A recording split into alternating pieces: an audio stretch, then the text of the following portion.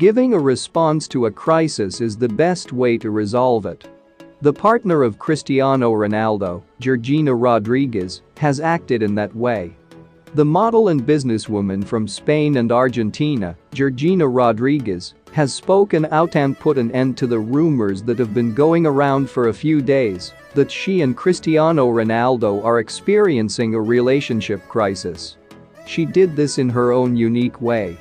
As stated in Romeo Santos's song Yo Muero, the envious one invents the rumor, the gossip spreads it, and the idiot believes it. The influencer has done this using her social networks. Georgina typically doesn't refute any information posted on her social media platforms.